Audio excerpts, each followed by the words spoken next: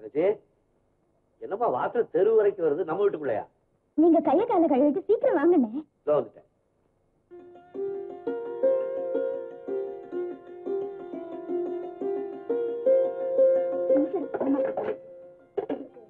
கருவாட்டு குழம்புனா ரொம்ப பிடிக்கும். அதனால மொச்சை கொட்டையும் கொடுவா துண்டை போட்டு குழம்பு வச்சிருக்கேன்.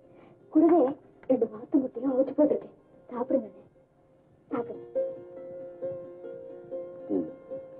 நீ சாப்பிட்டியாம்மா நானா? நான் அப்பவே சாப்பிட்டேனே. நான் சாப்பிட்டேனே.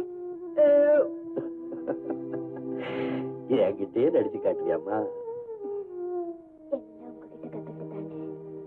எனக்கு முன்னாடி ஏப்பம் விட்டு காட்டிட்டு நீங்க வெறும் பானை தண்ணியை குடிச்சிட்டு படுக்கல? எனக்கு தெரியாதுன்னு நினைச்சீங்களா? அது- அது அண்ணே, கிடைக்கிற அன்னைக்கு ரெண்டு பேருமே சாப்பிடுவோம். கிடைக்காத அன்னைக்கு ரெண்டு பேருமே பட்டினி கிடப்போம். இப்போ நீங்க சாப்பிடுங்க. ஏன் பேசாம இருக்கீங்க?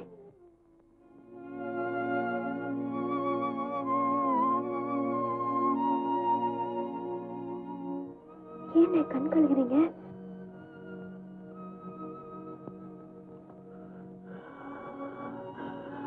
எனக்கு இத்தனை வயசாச்சு. என்கிட்ட அன்பு காட்டுறதுக்கு தாயோ? கூட பிறந்த அக்கா தங்கச்சியோ? இல்ல. நீ